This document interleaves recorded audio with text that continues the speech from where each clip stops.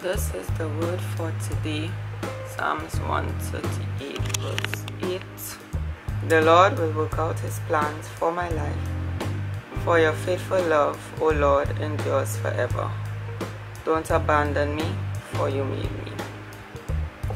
And I'll read a little note for you guys because I think it's really important especially where we are coming on a new year a new year is quickly upon us and most of us are making plans for the new year what we want to see done resolutions and so on.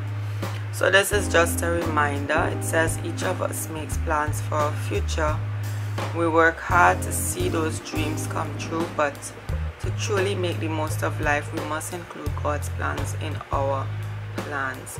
He alone knows what is best for us. As you make plans and dream dreams talk with God about them.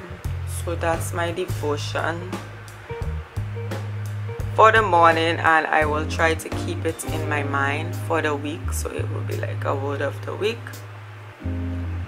Yeah, and I'm reading from this um something on it. It's the Students Life Application Bible. I got this in the Logos how many years ago? A good few years ago um, I think it's the right so it's the New Living Translation.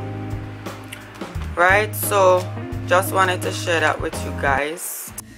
So this is today's um, lunch. Today's vlogmas day 23 we're having a late lunch. Chana as usual I don't eat much anything different. As I told you before this is one of the peas that I can eat um, some fish that we just make a sort of sauce with and this is the spaghetti mix.